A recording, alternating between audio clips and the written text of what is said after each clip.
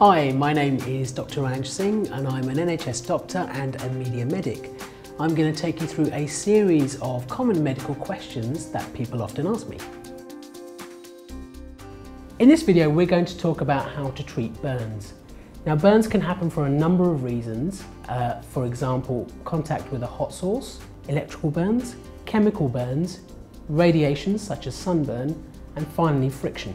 Burns can range from mild requiring very little treatment to quite severe, which always requires hospitalisation. It's important to act quickly and appropriately to try and limit any damage, and this video is to help you through some of those things. First and foremost, stop the burning process if you can remove the heat source. Secondly, if possible, try to remove any clothing or jewellery that may be near the burn, but only if it's not stuck to the skin. Number three, Cool the burn with either cool or lukewarm water. Do not use ice, ice water or ice packs.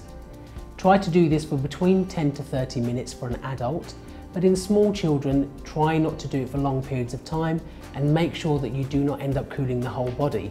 Make sure you don't use ice, creams, greasy ointments or butter on burns because they are not helpful.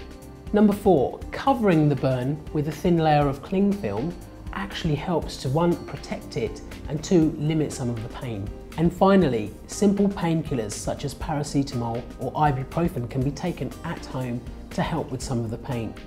Fortunately, superficial or minor burns do not require a great deal of treatment and do not require a visit to the hospital. However, there are some instances where you should seek medical help. For example, if a burn is large or deep, if it involves the face, or the neck or the upper body or the limbs.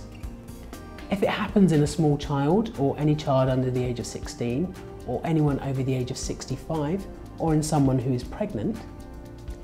If it looks like the burn is getting infected, make sure you see somebody. If you are otherwise unwell or there are other injuries that might need medical attention, or if there's any chance that you may have inhaled smoke, again, please seek urgent medical advice and that is how to manage a burn.